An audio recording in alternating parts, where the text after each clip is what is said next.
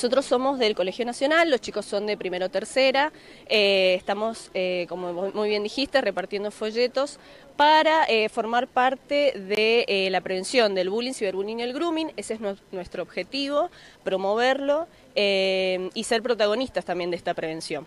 Eh, así que bueno, forma parte de un proyecto también que em, incluye a los chicos de primero segunda y en realidad todo el colegio, todo el colegio. Eh, ¿Qué materia es la que vos eh, les estás dictando a los chicos? Bien, forma parte de la materia adolescencia en el mundo actual.